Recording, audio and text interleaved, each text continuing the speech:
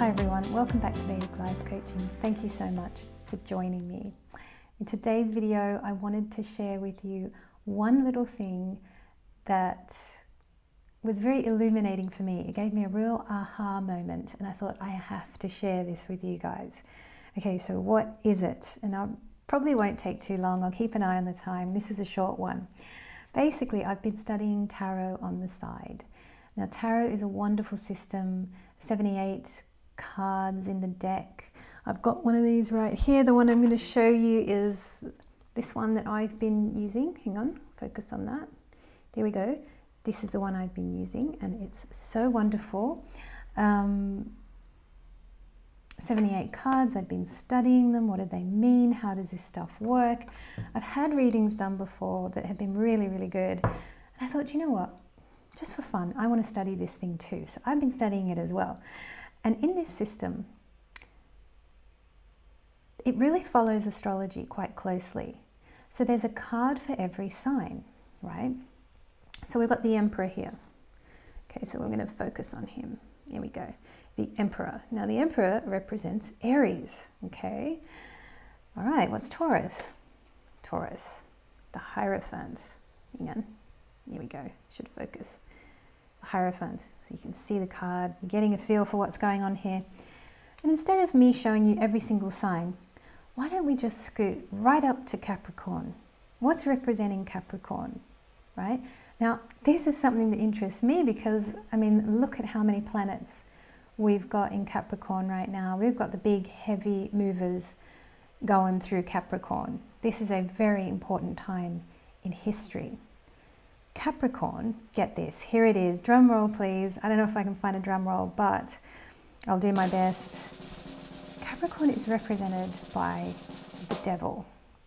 So I'm going to bring this up. Have a look at this card. By the way, apologies for the, the nudity on this card. Whoops, I should have I should have put a. This show is rated M for mature audiences, but seriously, I mean, does that not explain a lot of stuff? What's going on right now? I think it does, right? I think if anyone was confused after seeing this, you'll be like, oh, well, it all makes sense now. So, because we had Saturn move into Capricorn, sidereal Vedic astrology, Feb of this year, when it all really kicked off, right?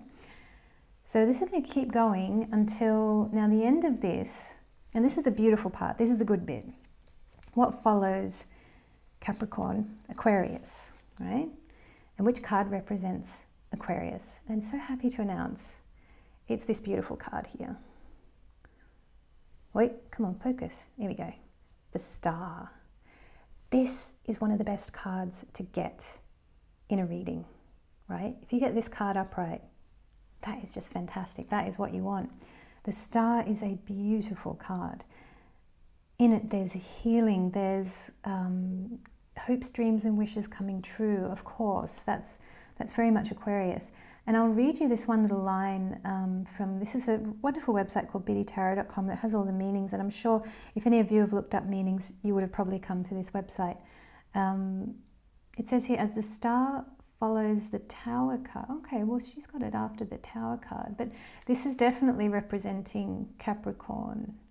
Uh, but okay, she's got it as, as the star follows a tower. Anyway, this is the bit I wanted to read you. It says here, it comes as a welcome reprieve after a period of destruction and turmoil. You may have endured, you, well, you have endured many challenges and stripped yourself bare of any limiting beliefs that have previously held you back. I mean, really, moving through this period, we are clearing out um, just the ugly stuff that we don't need anymore. And, and it's that thing of what Louise Hay explains that when you're washing a really dirty pan, the gunk and the junk comes up to the surface.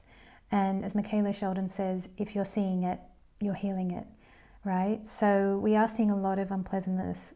There is a lot of destruction, bad stuff, especially we're going to have Saturn, Pluto moving through this area.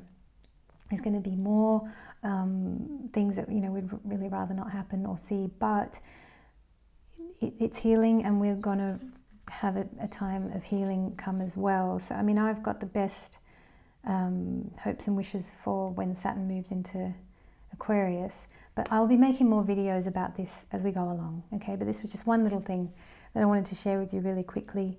I hope you're doing well wherever you are. Um, as always, please like, please share, subscribe, comment, do all the nice stuff. And I look forward to seeing you next time. Just very quickly, I can confirm that the Tower is the card that does follow the devil. So we've got the devil, and then we do have the Tower card. So I'll just focus on that. And that comes directly after the devil card. So this is all manner of change, destruction, accidents, um, huge transformation, everything going upside down. So, I mean, number wise, we've got 15 the devil, 16 the tower. Whoops, hang on, try and focus on that. There we go. So we've got that going on uh, as Saturn moves through Capricorn, I believe. And I do think that we've got healing coming up after that. So, yeah, but as I learn this system, I'll share more with you and hopefully start even using these to do some pick a card readings as well. Um, don't know when I'll get around to that. I've got so many things to do, so many things to create. Um, I will be making the website live again for those of you who want to book readings. So please do come along, keep me busy. I'm really enjoying this. So that was it. That was all I wanted to add.